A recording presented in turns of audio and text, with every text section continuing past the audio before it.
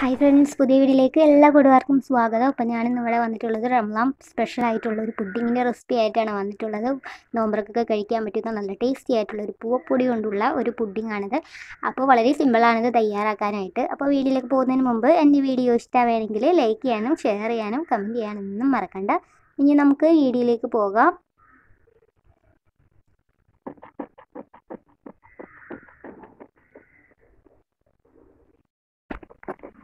ഇതിലേക്ക് ആദ്യം നമുക്ക് ഒരു അര ഗ്ലാസ് പാൽ ഒഴിച്ച് കൊടുക്കാം.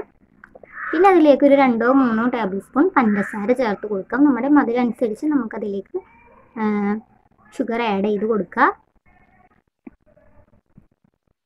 അപ്പം ഞാനിവിടെ ഒരു മൂന്ന് ടേബിൾ സ്പൂണുകളൊക്കെ പഞ്ചസാര എടുക്കുന്നുണ്ട്.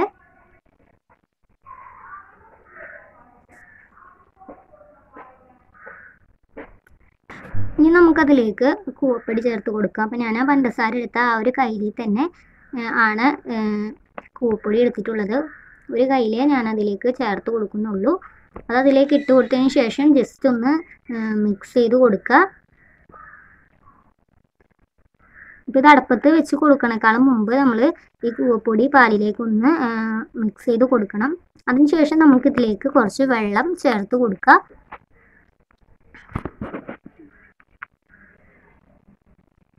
ഇപ്പം ഞാനിവിടെ ഒരു ഗ്ലാസ്സോളം വെള്ളം ചേർത്ത് കൊടുക്കുന്നുണ്ട്. എന്നിട്ട് ഇനി നന്നായിട്ടൊന്ന് മിക്സ് ചെയ്തതിന് ശേഷം അടപ്പത്ത് വെച്ചിട്ട് നന്നായിട്ടൊന്ന് കുറുക്കിയെടുക്കാം. കൈ ഇടാതെ തന്നെ നന്നായിട്ടൊന്ന് കുറുക്കിയെടുക്കുക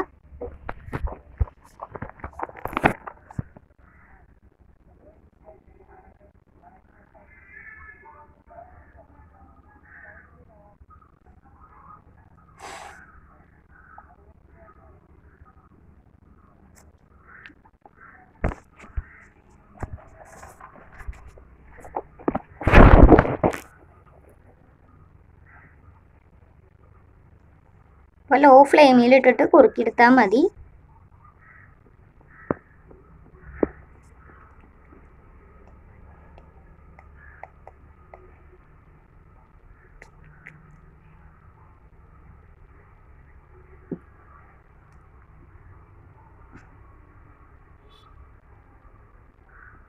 അപ്പോൾ ദേ ഇവിടെ നന്നായിട്ട് കുറുകി കിട്ടിയിട്ടുണ്ട്. അപ്പോൾ ഇതേപോലെ കുറുകിയിട്ട് വേണം നമുക്ക് കിട്ടാനായിട്ട്. അപ്പോൾ ഇതിന്റെ ഒരു കണ്ടൻസൻസി ഇതാണ്.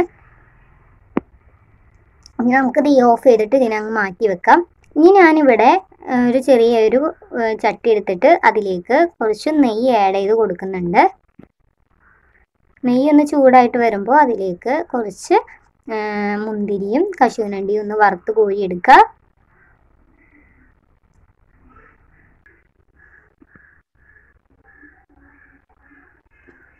ഇപ്പോൾ കശുവണ്ടി ഇവിടെ നന്നായിട്ടൊന്ന് ഫ്രൈ ആയി കിട്ടിയിട്ടുണ്ട്. ഇനി നമുക്കതിനെ മൊത്തത്തിൽ കോരിയെടുത്തൊരു പാത്രത്തിലേക്ക് ആക്കാം. ഇനി ഞാനിവിടെ ഒരു കിണ്ണൻ എടുത്തിട്ടുണ്ട്. ആ കിണ്ണനിലേക്ക് നമ്മൾ കുറച്ച് നെയ്യൊന്ന് പുരട്ടി കൊടുക്കുന്നുണ്ട്. നെയ്യ് പുരട്ടി നന്നായിട്ട് എല്ലായിടത്തേക്കും ഒന്ന് സ്പ്രെഡ് ചെയ്തതിന് ശേഷം നമ്മൾ നേരത്തെ എടുത്ത് വെച്ച ആ ഒരു പൂപ്പൊടി കുറുക്കിയത് അതിലേക്ക് ഒഴിച്ചു കൊടുക്കാം.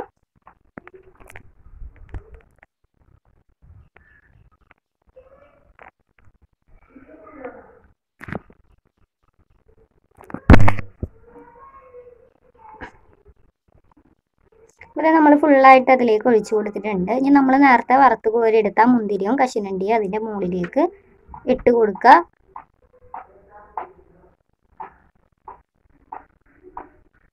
ഇപ്പോൾ ഫുള്ളായിട്ട് നമ്മൾ ഇട്ട് കൊടുത്തിട്ടുണ്ട്. ഇനി നമുക്കിതിനെ ഒരു അരമണിക്കൂറോളം ഫ്രിഡ്ജിൽ ഒന്ന് സെറ്റ് ആവാനായിട്ട് വെക്കുക അപ്പോൾ അതേ നമ്മൾ ഒരു അരമണിക്കൂറിന് ശേഷം ഫ്രിഡ്ജിൽ നിന്ന് സെറ്റായിട്ട് എടുത്തിട്ടുണ്ട്. നമുക്ക് ഇതിനൊന്ന് കട്ട് ചെയ്തെടുക്കുക ഇത് നമ്മുടെ ടേസ്റ്റി ആയിട്ടുള്ള കൂവപ്പൊടി കൊണ്ടുള്ള പുഡിംഗ് ഇവിടെ റെഡി ആയിട്ടുണ്ട്. അപ്പോൾ നോമ്പ് തുറക്കൊക്കെ വളരെ നല്ലതാണ്. അതുപോലെ തന്നെ കുട്ടികൾക്കും വളരെ നല്ലതാണിത് അപ്പോൾ എല്ലാവരും ഒന്ന് ട്രൈ ചെയ്ത് നോക്കുക. അപ്പോൾ നല്ല ടേസ്റ്റാണ് ഇത് കഴിക്കാനായിട്ട്.